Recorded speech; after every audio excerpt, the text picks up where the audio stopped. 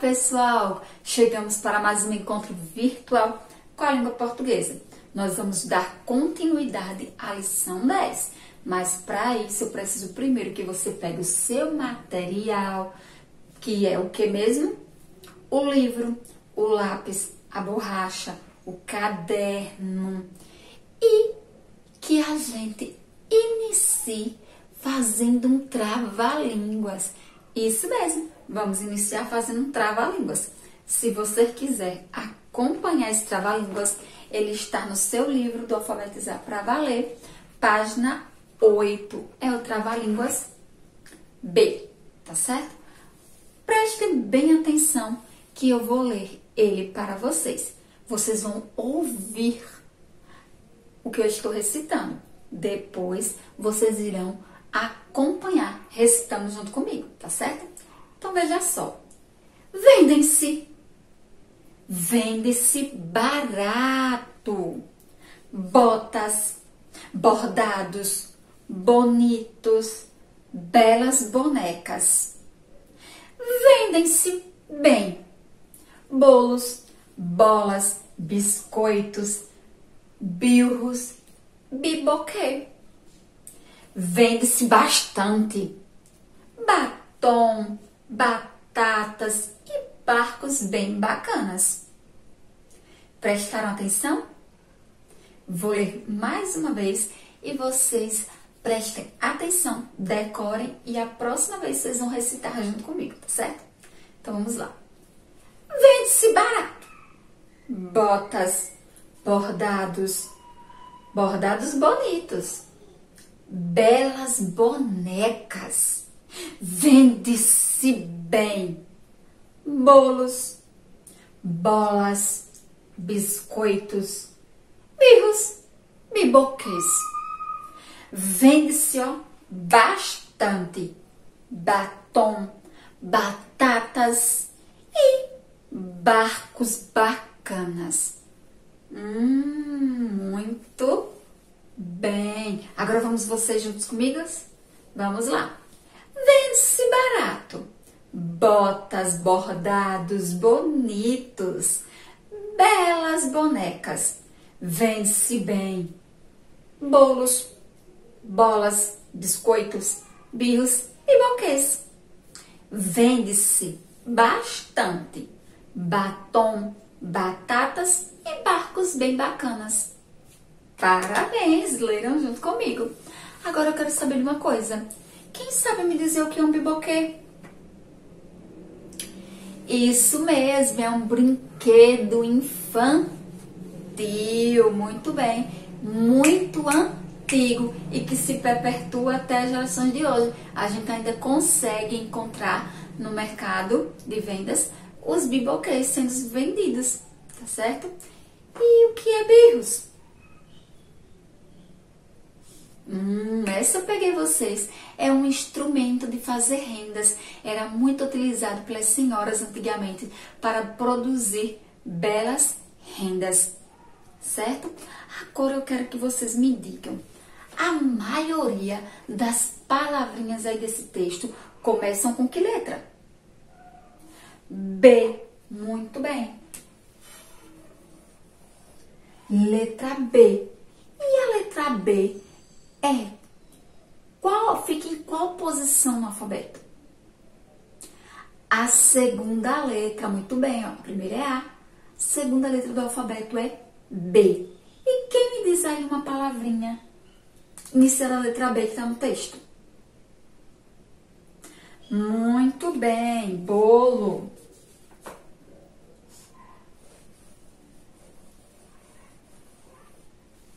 Bolo tem duas letrinhas repetidas. Quais são elas? O O, muito bem. Ele aparece duas vezes. E qual é a letrinha que está no meio entre os dois, as duas letrinhas O? O L, muito bem. O L aqui.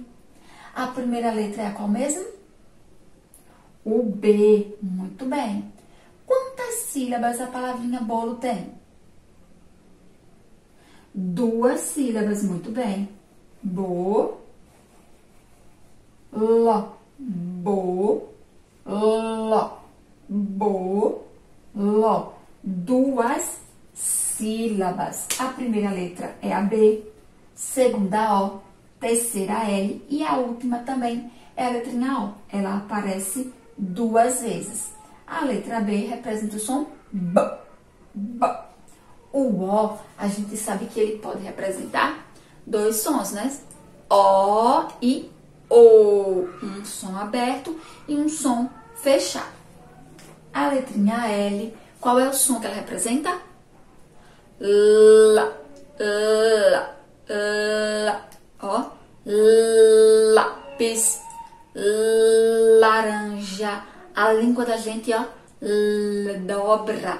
A pontinha topa no, atrás dos dentes superiores e a nossa linguinha dobra para pronunciar o som que a letrinha L representa. Muito bem, obrigada por terem me ajudado nesse trava-língua. Agora, vamos passar para a continuidade da nossa lição 10? Quem lembra em que página ela se encontra? Isso, o início na página 110. Vocês prestem atenção aqui que a gente vai aprender mais um detalhezinho que tem na carta de caixinhos dourados que nós lemos na aula anterior. Vocês observaram o finalzinho da carta? Bem aqui? Ó, bem aqui, esse finalzinho. Nesse finalzinho aqui da carta, ele diz assim, ó, PS, tem a letra P, pontinho, e depois vai vir a letra S. Bem assim. E mais um pontinho. Depois vem dois pontinhos e um textinho. Por que que isso tá aí? Lá depois que Castinho Dourados se despediu, mandando um beijo, assinou a carta, ela foi lá e colocou isso. Isso, ó. PS significa pós-escrito, tá certo? É quando a gente tá escrevendo um texto e depois que a gente se despede, a gente lembra que faltou falar alguma coisa. Aí a gente vai lá e coloca PS e coloca o que foi que nós esquecemos de colocar no textinho que nós estávamos fazendo acima. O que foi que a gente esqueceu de comunicar. A gente faz isso para que a pessoa que receber a carta saiba que aquele acréscimo ali foi feito por nós, ou seja, por quem escreveu a carta, que a pessoa apenas esqueceu de colocar isso no, no meio ali do textinho, então quando ela lembrou, ela já tinha assinado a carta. Então ela foi lá, coloca a sigla, PS é uma sigla que é pós-escrito, é uma sigla pertencente a uma outra língua, a gente coloca isso e faz o nosso textinho, certo? Agora vamos colocar o nosso livro lá na página 113. Nós temos aqui a questão de número 8. Ela tá aqui no quadro. Vocês têm aí também no livro de vocês.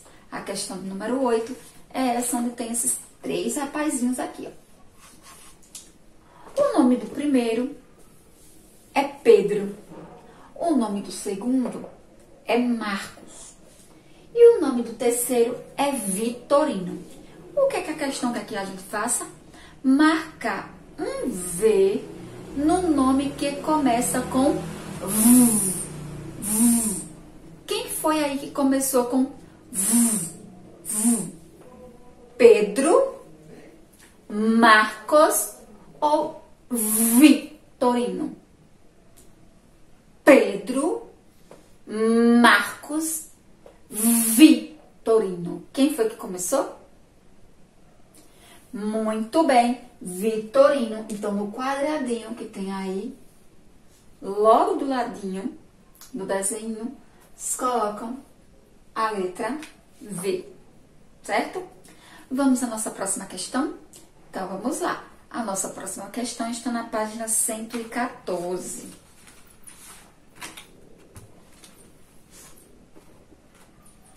Vamos lá. A página 114 pede para a gente ler com entonação. Vamos ler juntos a primeira frase que está aqui, ó. A do quadradinho laranja. página 114, questão 14, faixa laranja. Vamos lá. As aves vivem voando. As aves vivem voando. As aves voando. Vocês perceberam que nós temos aí uma sequência de frases, cada uma terminada com um sinal gráfico diferente, um sinal de pontuação diferente. Nós temos aí a exclamação, nós temos aí a interrogação e nós temos aí também o ponto. Interrogação você já sabe. Pergunta: as aves? Ponto. Afirma. As aves vivem voando. Já a exclamação, ela admira. Oh, as aves vivem voando. Vivem voando. Oh, ela está admirada, mas ele também representa espanto. É o sinal que a gente utiliza naquelas frases que vão demonstrar algum tipo de sentimento. Certo? Agora vamos para uma outra questão. Vamos lá? É a questão 18. Ela está aqui no quadro. Questão 18.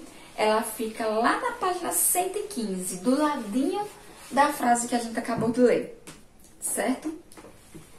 É essa questão aqui. Preste atenção nas palavrinhas que tem aí. Eu escolhi dois grupinhos, dois pares, para a gente ver aqui. Olha Vamos ler e vamos aqui comparar essas duas. Falar o que, que elas têm aqui em comum, que quer dizer igual, e o que elas têm de diferente, certo? O primeiro pazinho. Feio, veio. O que que tem aqui? Muito bem, uma troca de letra. Aqui eu tive no início a letra F. Aqui eu tive no início a letra V. O final delas, mesma palavra. Eio, eio, feio, veio. Trocando uma letrinha, eu tive uma palavra com um outro sentido. Feio, eu estou falando aqui, e aspecto físico. Veio, quer dizer que alguém chegou, alguém veio até a mim, alguém veio para a aula. Vamos à próxima? Fala, vala. E agora? O mesmo jeito, muito bem. Eu tenho aqui uma palavra iniciada com F e aqui eu tenho uma palavra iniciada com V. Porém, a finalização são as mesmas letras. Ou seja, nós mudamos aqui, ó, trocamos uma letra.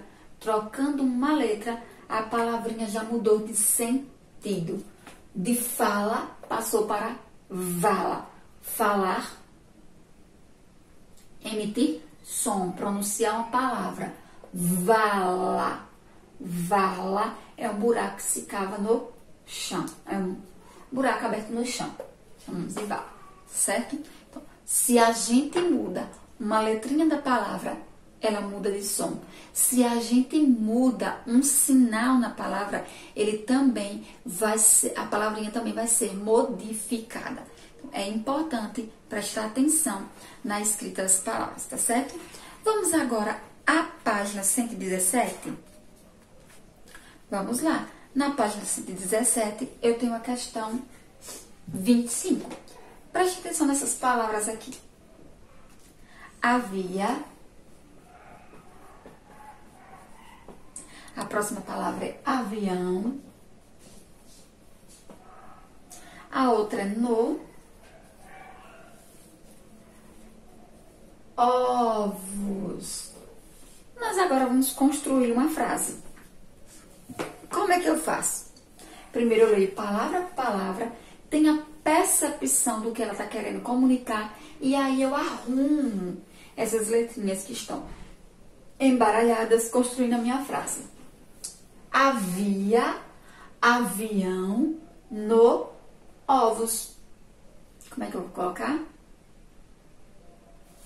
Muito bem. Havia ovos no avião. Pronto. Utilizo o sinal de pontuação porque as frases elas precisam ser terminadas com o sinal de pontuação. É o, o, a pontuação é o sinal de que minha frase parou ali. Então, havia ovos no avião. Foi assim que a minha frase ficou. Certo? Então, eu leio cada palavra, penso que sentido essa frase está me dando, para assim ordená-las e construir uma frase com sentido.